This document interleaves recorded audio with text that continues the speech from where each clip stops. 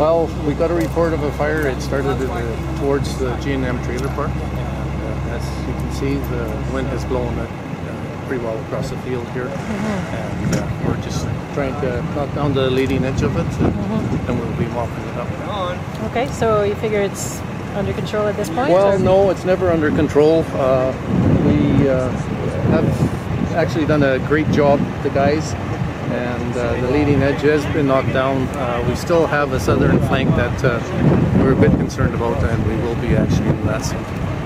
Any indication as to what started it? Uh, not at this time. Any evacuation of uh, any of the homes? Not at this time.